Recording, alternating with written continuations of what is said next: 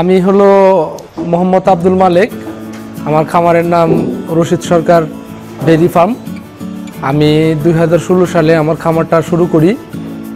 আমি খামার শুরু করার আগেই আমার যে উপজেলা যুব উন্নয়ন কেন্দ্র আছে, সেখানে আমি যাই। সেখান থেকে তথ্য নিয়ে সাভার যুব উন্নয়ন থেকে আমি তিন মাসের একটা প্রশিক্ষণ নেই। আমি গবাদি পশু পালন, লালন পালন এবং এর প্রাথমিক চিকিৎসা পরিচর্যা এর উপরে সেখান থেকে তিন মাসের একটি কোর্স কমপ্লিট করে তারপরে আমি খামারের কাজ শুরু করি। দুই হাজার সালে শুরু করার পরে আমি প্রথমে তিনটা গাভী এবং তিনটা বকনা কিনি। তিনটা গাভী আমার সাড়ে চার লক্ষ টাকা দিয়ে আমি কিনি এবং তিনটা গাভী কিনি হলো দেড় লক্ষ টাকা দিয়ে। এই টোটালি আমার ছয় লক্ষ টাকা যায়। তারপরে ওই তিনটা গাভী থেকে পরে তিনটা বাছুর আসে এবং আমার ওই তিনটা বকনা থেকে আরও তিনটা বাছুর আসে। এভাবে পর্যায়ক্রমে আমার তিন বছরে খামারে এখন আমার ছোট বড় তিরিশটা গরু আছে।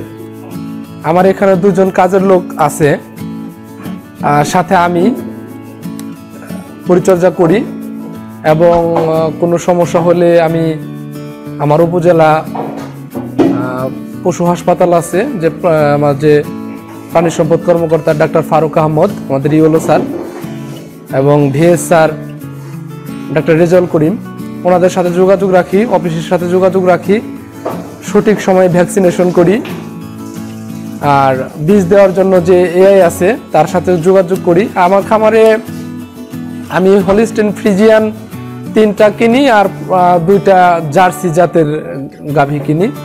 তো এখন আমার এখানে যা আছে, জাত উন্নয়নের পরে, তো সবই হলিস্টেন ফ্রিজিয়ান আর দুইটা আছে জার্সি অধিকাংশই হলিস্টেন ফ্রিজিয়ান তো আমার এখন প্রতিদিন সকাল বিকাল মিলে সত্তর থেকে আশি লিটার দুধ আসতেছে। আমি আমাদের লোকাল মার্কেটেই বিক্রি করি আমার দুধের চাহিদা থাকাতে স্থানীয় লোকজনই সকালে এবং বিকালে আমার দুধটা নিয়ে নেয়। আমি ষাট থেকে সত্তর টাকা লিটারে বিক্রি করি দুধ। আর আমার পর্যাপ্ত ঘাসের ব্যবস্থা আছে আমার কৃষি জমিতে। আমি ঘাসের রোপণ করছি, এখানে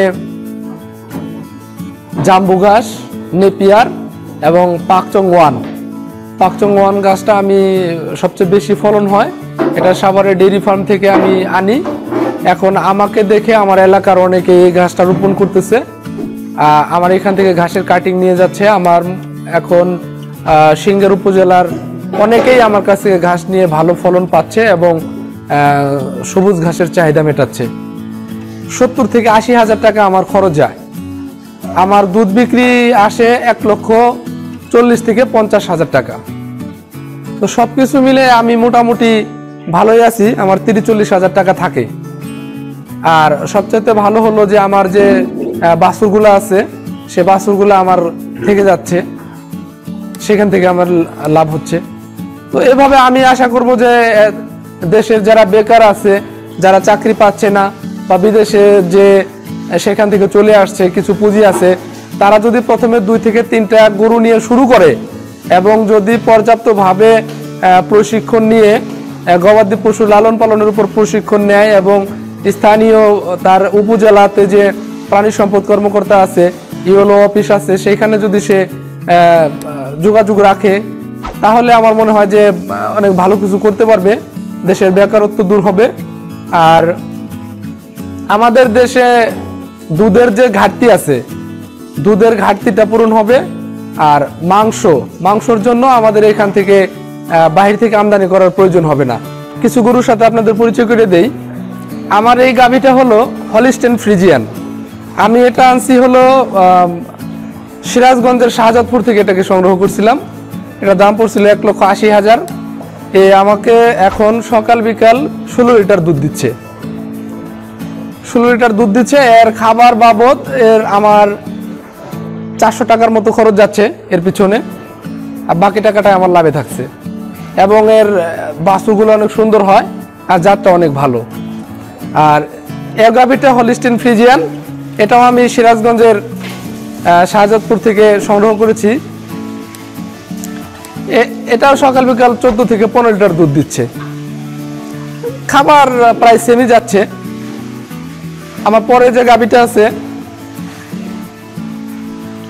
এটাও হলিস্টিন ফ্রিজিয়ান আমি সাধারণত হলিস্টিন ফ্রিজিয়ান নিয়ে শুরু করছি আর এখন আমাদের সরকারিভাবে যে বীজগুলা দেওয়া হয়, সিমেন্ট যে দেওয়া হচ্ছে, সেখানে সাধারণত হলিস্টিন ফ্রিজিয়ান আর অন্যান্য জাতের আছে তো দুধের জন্য আমার যেহেতু ডেইরি ফার্ম আমার এখানে দুধের জন্য ফ্রিজিয়ান জাতটাই আমাদের দেশের জন্য এখন মানানসই।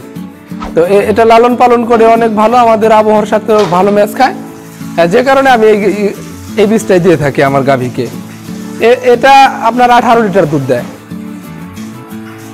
হলিস্টেন ফ্রিজিয়ান এটা আঠারো লিটার দুধ দেয়। এটা আমি দ্বিতীয় বাচ্চা সহ ক্রয় করছিলাম এখন এটা চতুর্থ বাচ্চা দিবে।